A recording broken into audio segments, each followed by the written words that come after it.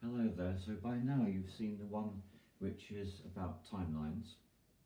So I'm now no longer on the timeline of lying in my garden enjoying the sun.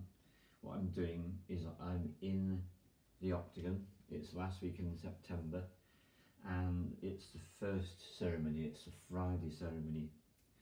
And in this ceremony I declaim the protocol as I've done in so many retreats and we bring in all of our loved ones.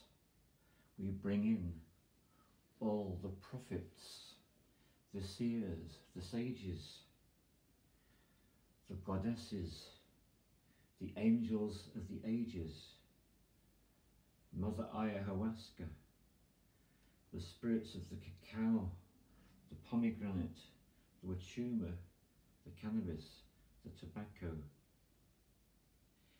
bring them all in for a party, a celebration of life.